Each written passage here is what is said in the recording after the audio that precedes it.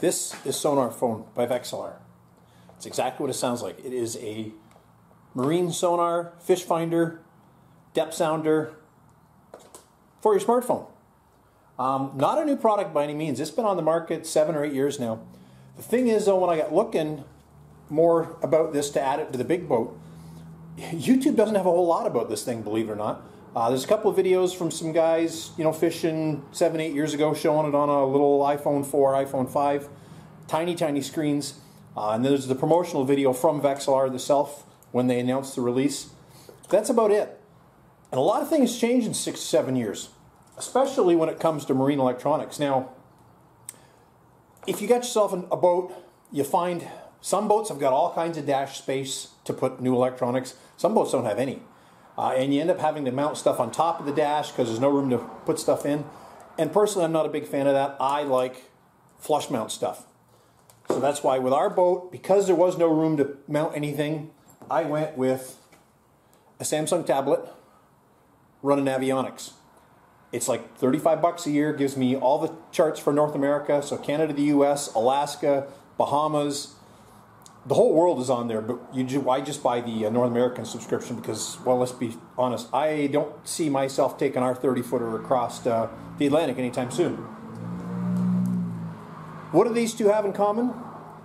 Sonar phone will talk to Navionics. And what that'll give you is it'll give you a split screen with the bottom contour, uh, it'll give you water temperature, all kinds of interesting stuff. That's why I wanted it on the big boat, because the big boat's got a basic depth sounder, nothing special. Was in their factory stock in 05.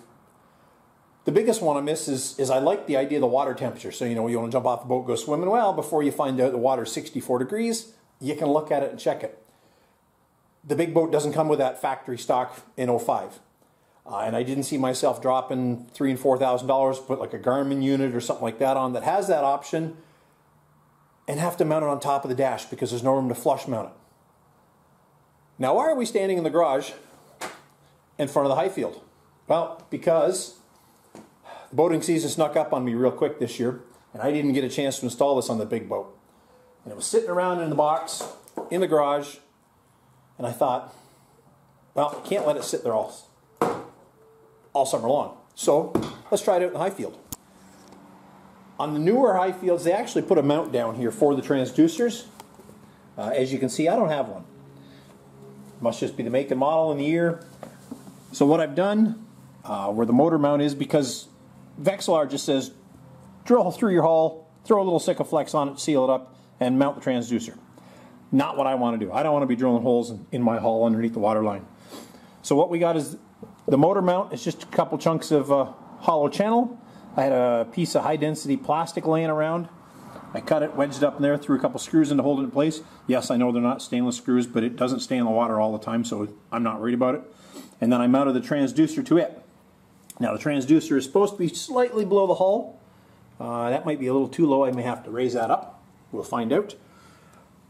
Little plastic mount. It is rated for 75 miles an hour. Now this 20 horse is only going to push us about 22 miles an hour, so I don't think I have to worry about it ripping off.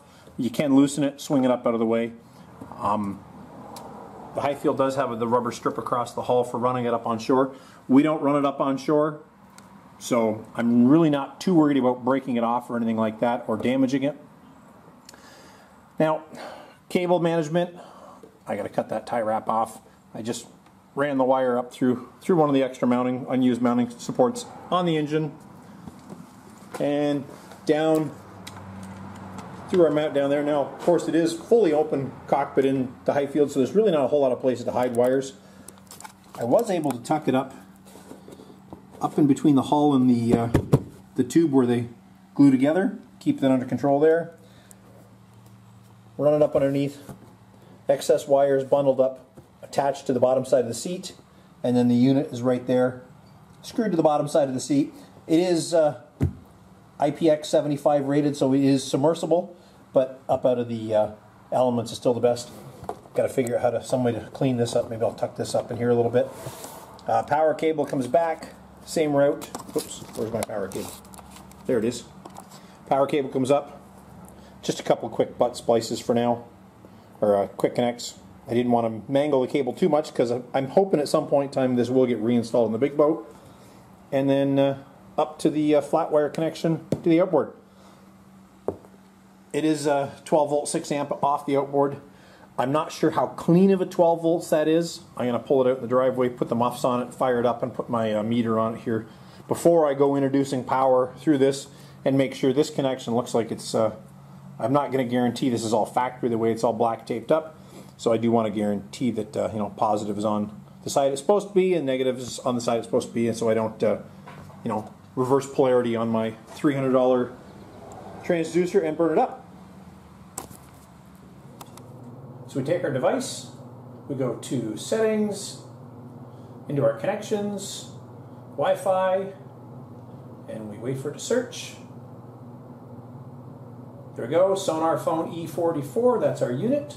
We're connecting. Check the quality of your internet connection. Connect without internet, yes, because we have to keep our Wi-Fi because there is no internet through the Sonar Phone Wi-Fi.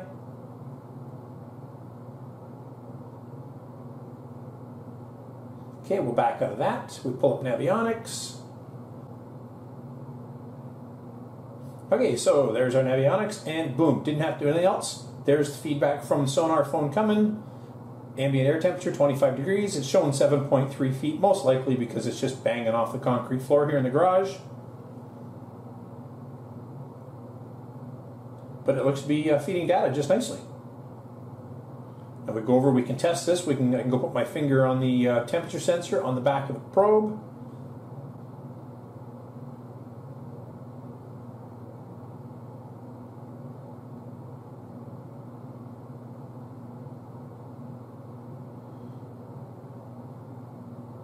And there we go, 26 degrees,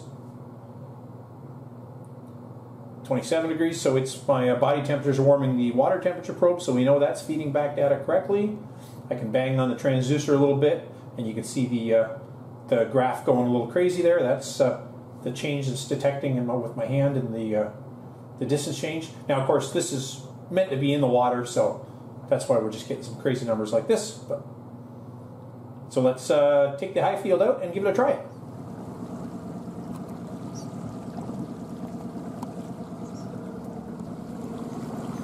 Welcome to the Trent Severn Waterway. We are I am for a little cruise in the Highfield today. That 20 horse Honda four stroke back there just purring away nicely at idle, pushing us along at five and a half kilometers an hour. It's pretty good. This is only a 10 kilometer zone, and the Highfield with one person in it, it makes a heck of a wake at anything more than about 8 or 10 kilometers an hour. So uh, I had it up to 36, I think, actually by myself. That's uh, zipping right along for one person. I need to adjust the trim a little bit on the motor, though. It's sitting too nose high when I'm by myself. Um, anyways, got the uh, sonar phone working, paired with my uh, Navionics app on the tablet. I'll flip it up on uh, split screen right here so you can see it.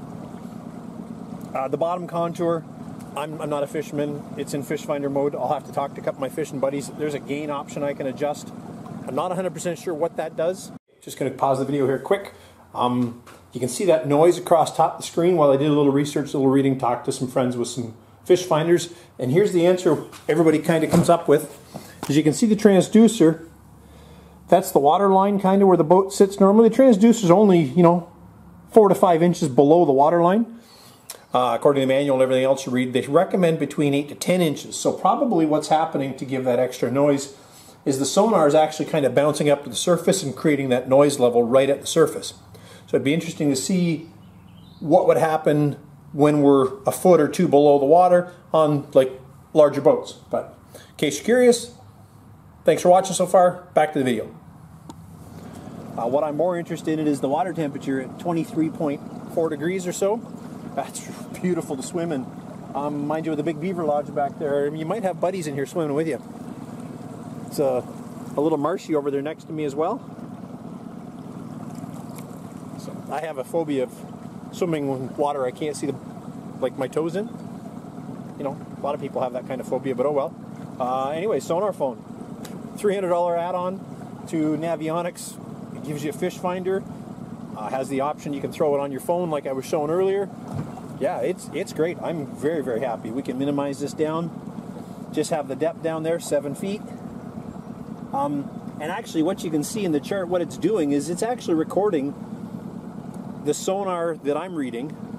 Sorry, I had you were looking up my nose there a minute.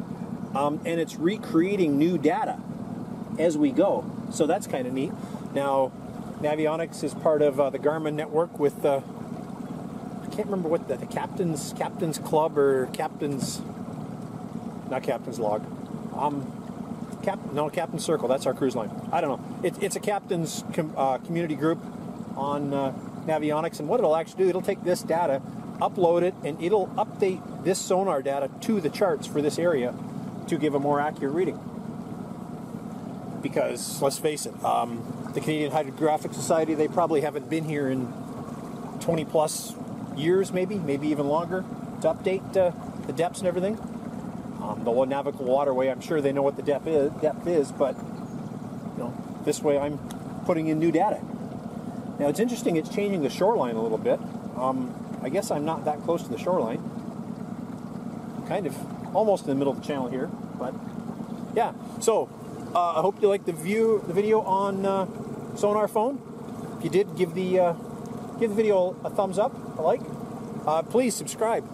Um, I'm not out to make a million dollars off this and become some sort of YouTube celebrity, but I'm getting pretty close to that monetization stage, and I think it'd be kind of neat to get that 16 or 17 cent from uh, Google. So, thanks for watching. You want to see some more videos of on the water of the, you know, beautiful Trent Severn Waterway? Give me a shout. Subscribe. Thanks. See you next time.